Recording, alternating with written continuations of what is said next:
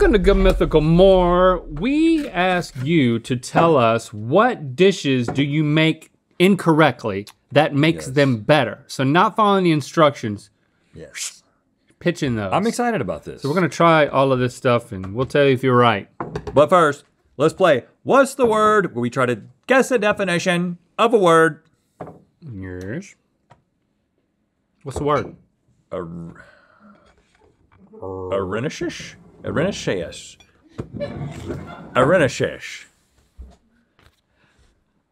Ar- Ar- Erinaceous. Yes. Erinaceous. Erinaceous. Erinaceous. Oh, what is Aaron? That it's like when you say that is so Aaron. You know, your friend Aaron. That's an Aaronaceous thing to do. Yes. Something only Aaron, my friend Aaron would do. Oh, yes. I don't know what I don't know what an Aaron is Aaron- besides a name. so- Aaron, I'm just trying to think of other words that have Aaron in E R I N in them, like Aeronophobia. No. Aaronalia. Aaron. my guess is Aaron. that's so Aaron. It's a spinoff to That's So Raven. Right. It was almost. It was what that's so Raven almost got called until they cast Raven. Symoné. Let's see it. Of or relating to Oh. hedgehogs. So I guess Aaron is a hedgehog. I bet you somebody out there has got some biologist. or Irina. has a hedgehog named Aaron. It's like, well, let me tell you why.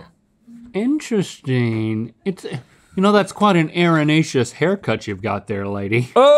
Oh, I know what you're talking about. The hedgehog cut that Yeah. yeah. every every Southern woman over 50 in the got in North Carolina It's like it's in short, like the late short in the front, and then it's like. Pew. Did your It's mom like ever get one all of those? spiky Stevie? back there? Get a spiky cut? Yeah, yeah. All I- I spiky in the back. They were calling it funky. Funky. You know, I got a funky that's a cut. Funky? North Carolina I mom got a word. funky bob. Funky. I'm gonna take my funky cut to the Piggly Wiggly. Harris Teeter. yes, Harris, Um, if you're a little upscale. Okay, this first hack I have I have heard of before, and I think that you're you're gonna quite enjoy it. The Uncrustables. Uncrustables right out of the freezer. The bread quality is poorer as a result, but the solid peanut butter combined with the still jelly like jelly just hits different at Mr. Work Rate. Work work work rate? Work rate. Bread quality, poor. Solid peanut butter combined with a still jelly, like jelly. What do you mean still jelly like jelly? Like semi-frozen jelly? Yeah, yeah, more jelly-like. Is it why is the consistency not uh, is the I would think the peanut butter would be harder than the jelly. The peanut butter is a disc. Mm-hmm. It is good. And the so jelly is very cold. Nothing to We soft. seem sad. Yeah. I'm just thinking about For, it. forlorn. No, no, no. I, Don't this is my this is my thoughtful face. Oh, If I was to work in a lab and I had to make decisions, you'd come in and you'd be like, "Why is the scientist so sad?" This is my thoughtful face. it's like he's just thinking deeply. it tastes good. It's better Oh, he said it. because, yeah, you're right about the bread, but I don't listen, Tom. I love that little smushed bread edge. you thought it was just yeah. Well, because my copy says at Mr. Work Rate. I was like, where Tom did is he his get name. Tom from? Tom listen, Tom. Workman. You're right. Uh, you, you've made a good choice here. A regular Uncrustable is still really good, though. So I if I, I had to have them side by side to know if you were truly right, but you are right. These are good. My favorite part of an Uncrustable is that little edge of hard smushed bread where it comes. It's it's kind of the crust of the Uncrustable, if you will. Yeah. Yeah, they couldn't get away with it. If you don't have a crust at all, you don't. You, you won't seal. Okay, cooking my pizza Lunchables in the microwave. This at sounds Emmy's interesting. World. Okay. Emmy, Emmy's World. Cooking. Cooking my pizza Lunchables. This has got to be relatively common. Because when you eat it otherwise, it's begging to be cooked. Oh man. The flavor on the sauce is intense. I have a problem with this because now I'm comparing it to real pizza, That is a problem. and that ain't gonna work. Um, so when it's a little warm, It's an uncanny valley. It's an I'm- uncanny pizza valley. I'm guys. sorry, but I I might be I might be going a little forlorn over this. Yeah, you're, you're not thoughtful anymore. You're just a- absolutely sad. Yeah, Amy, this makes us think of real pizza that would be so much better. This isn't, this isn't as good. So, in your world, Amy's world, um, you're wrong. You live in a world that is wrong. We forgot to tell people that you would tell them if you if they were wrong or not, and that's I'm why they were glad. submitting. I'm glad we got so many submissions. Don't cook your pizza launchable, girl. Just order a pizza. yeah. Great, great idea. You've made me forlorn. Let's bring it back with something else. Don't toast a toaster strudel all the way. Do it just long enough for the outside to get warm and flaky, but have the fillings still be semi frozen. Hands down, the best way to eat one of those pockets of goodness at M. Babs. You like stuff that's not fully cooked. Uh, throw it up there, Zach. All right, Mike Babin, M Babs 19. So he's saying put it on the toaster. I, Don't toast it all the way. now, here's what I do. I'm on record saying this. I put my toaster strudel in the microwave for 10 seconds. Ten? And what that does is it makes the filling hot. Yeah. And then, because I like a lightly toasted strudel, same as Mike, but I don't like the semi frozen filling in the middle. Yeah, that feels Well, like that's a like miss. the opposite of what he said. That feels like no, a he miscalc. he like he likes a light toasting. But he but he also enjoys the undercooked inside because he's doing toaster only. Right. Mr. Neal here is doing a two-step process, Right. which involves looking forlornly at your microwave for 10 seconds as you think about how good it's going to be. Uh, and then you toast it lightly. It's also like very boldly going against the instructions because the name of the product is toaster strudel. So Link is just really. No, Stevie, I still toast it. Oh, you would two part it. I two part. I missed the second mm-hmm. part. I was Yeah. stuck on the I'm microwave. I microwave it to get the hotness of the inside, but then I lightly toast it to get the outside. Call me a rule follower. I, I just follow the directions and I think they are exquisite. I love a toaster strudel and we have it as a little treat in our house. Like I love them too. if my wife wants my kids to know that they're loved, she'll get them a toaster strudel. The rest of the time during the year, they know they're not loved. it's like if you boys perform and don't embarrass us as a, fa- as a family, you get toaster strudels. The icing is so good. It's just the perfect icing. It's I think it might be the perfect prepackaged breakfast treat, sweet treat. It's better than a pop tart. I will fight you over this. Oh, I agree with that, but I don't think it's better than like a, a cinnamon roll. But if you're talking about Pillsbury, that's not technically prepackaged. I feel like you have to. It, like, it, it involves too much of your own involvement. You have to bake it for a, a good I while. mean, I know you have to toast these. Yeah, this is instant, Well, not quite instant. semi-instant. It's semi-instant. Well- it's the best semi-instant sweet breakfast treat. And I, I'm on Team Apple. Uh, and the great thing I love about toaster strudel is that no matter what you get, there's nothing but goo in the middle. There's no actual fruit pieces. Like if there's You'd no apple pieces. Yes. There's no actual apple shards, strawberry I don't know if I can agree with that. pieces. I mean, I, I agree well, with you no, that it's they're the great. Truth. No, but it's I'm the truth. It's the truth. But I'm just saying, if you were to go to uh, Germany, where I guess they invented a toaster strudel like way back in the day, and grandmother Gutwein gives you like I didn't. I don't care if it's accurate. I don't care if it's you- but, historical. but I'm just saying, if they were like, I'm saying this is they- my preference. If they said now with real fruit chunks, you you'd say that's worse. yes. Well, I don't understand why. I, but the same reason I'd love an apple pie better if there wasn't actually apples in it. If it was just apple goo in the middle? Yeah, absolutely. what is wrong with you, Oh man? my gosh. Yes. And yeah, and the fact that they Oh, did that, they made that decision. You're gonna love It's it. what makes me just- love- You're gonna love it when you're just sucking on the robot overlord teat, and it's just Soylent. You're gonna love those days. You're gonna you're gonna go up to the, down to the Soylent. teat. Says, What'd you have for lunch today? Soylent. I love being subject to the robot overlords. That's you, man. That's your future.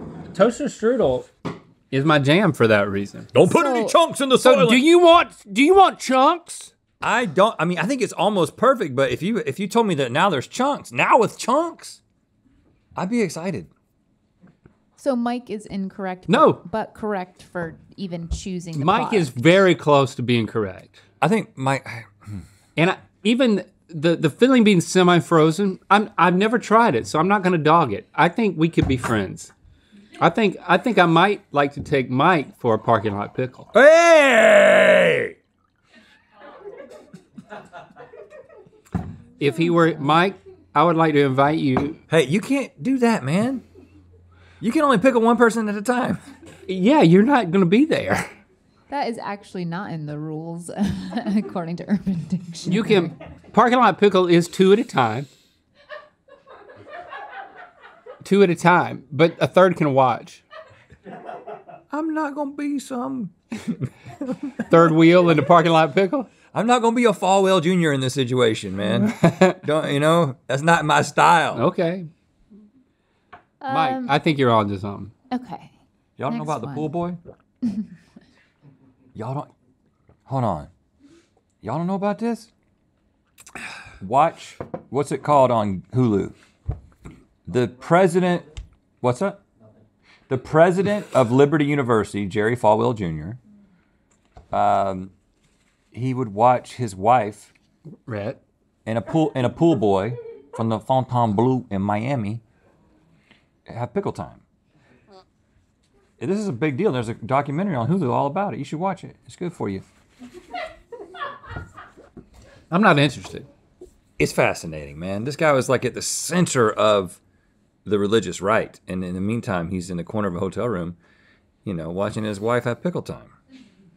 I don't like you bringing pickles into this because pickles was just that was for us, man. Mike, I gotta, I gotta disinvite you, man. Yeah, yeah, yeah. Thanks, Mike. What is this? What's this white stuff? Okay. My dad loves oatmeal like soup style. He'll make it according to the directions and then add a good cup of milk so it's essentially pure liquid. To each their own at Molly Robinson. Okay, No, mm. I'm interested in this. throwing dad under the bus. This is interesting. Soup style oatmeal. Hmm. Hmm.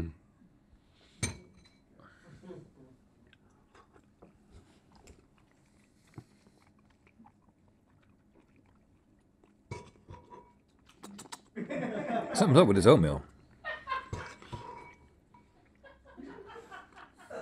What's it taste like to you? Like something like well, you just say it on the on three, two, one. We say the same thing.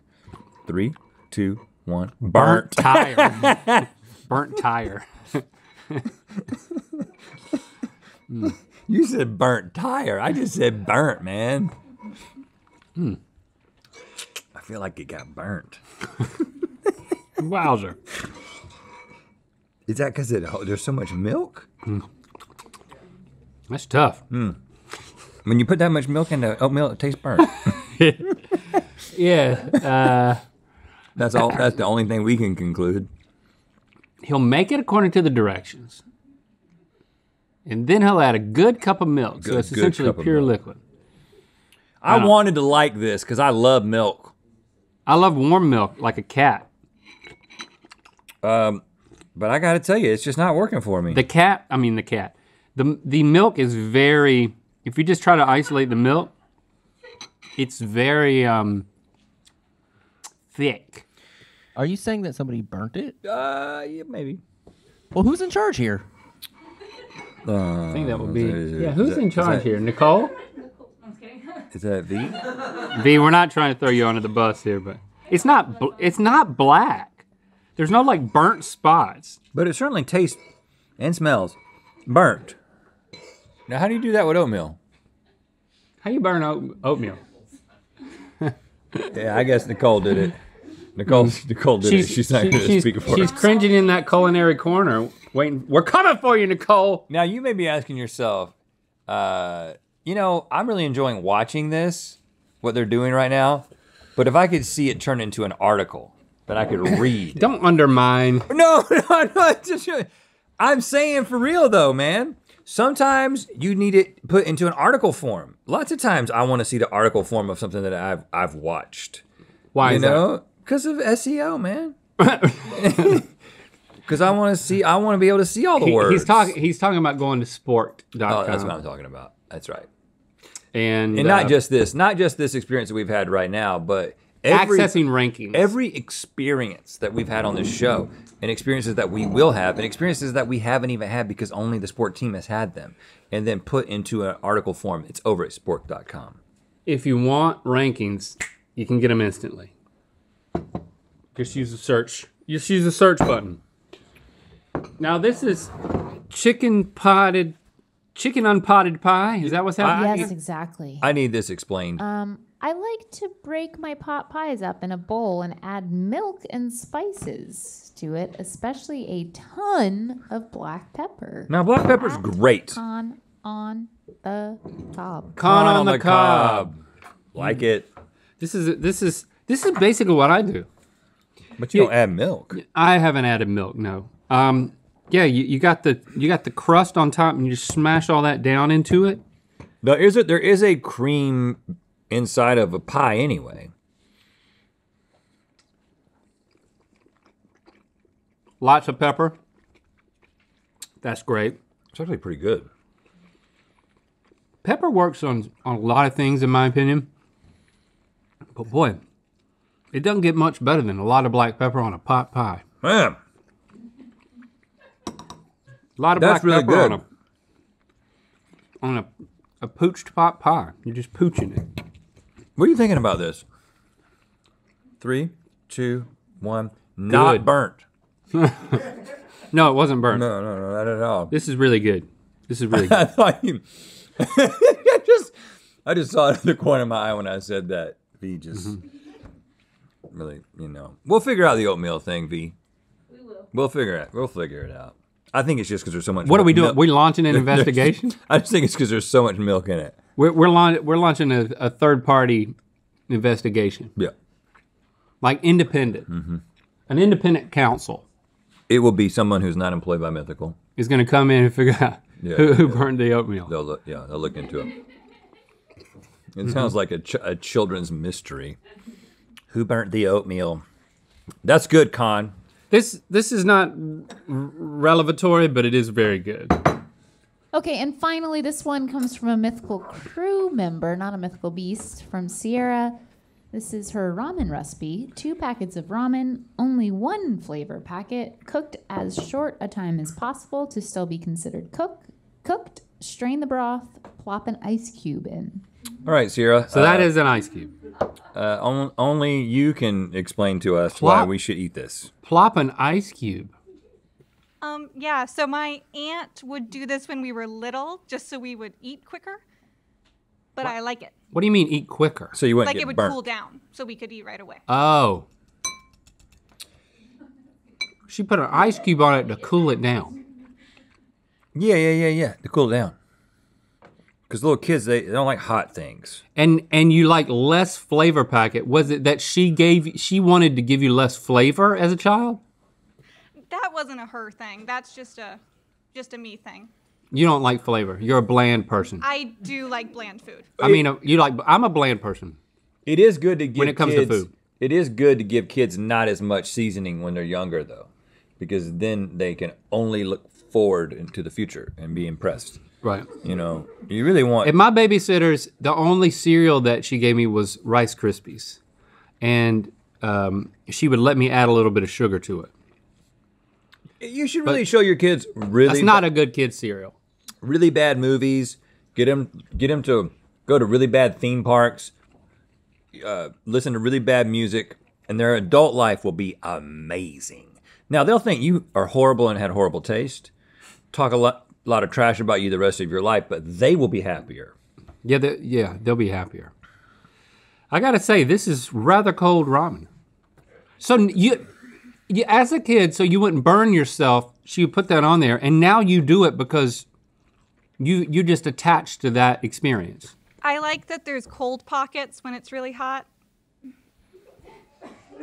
When the, when most of it's hot, Yeah, right when it's done. You're looking for the cold pockets. You like the cold pockets.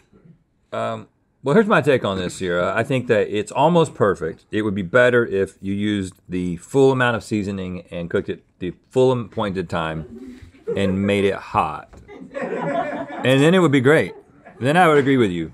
I would really agree with you at that. I, I think we're kindred spirits here, and I not because I agree with you on this, but because it's just so strange that I, you know, I have no room to uh, to pick it apart.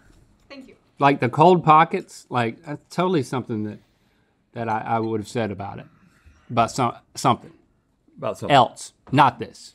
You're wrong about this, but I like it. Thanks. Do you guys want to update on Oatmeal Gate?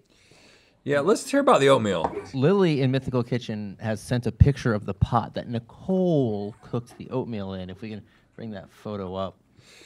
Yep, yep, yep, yep, yep, yep, yep, yep, yep. That, Nicole, I'll tell you right now, that makes a lot of sense. well that that is a black bottom bowl right there. Yeah, it is.